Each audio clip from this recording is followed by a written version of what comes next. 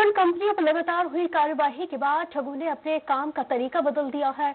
दुर्ग police ने ऐसे ही एक जालसाज को लोगों को अपना अपने झांसे में लेते हुए एक मीटिंग के दौरान गिरफ़्तार किया। गिरफ़्तार आरोपी लोगों को विदेश घुमाने के नाम पर हज़ारों रुपए लेने के बाद चेन सिस्टम पर काम करने का लालच दिया करता था और कंपनी ने देश के कई शहर में अपने सदस्य बना लिए थे, जिसमें तमिलनाडु आंध्र प्रदेश कर्नाटक, छत्तीसगढ़, झारखंड, उत्तर, पूर्वी राज्य शामिल है। पुलिस ने आरोपी के खिलाफ अपराध दर्ज कर गिरफ़्तार कर लिया है।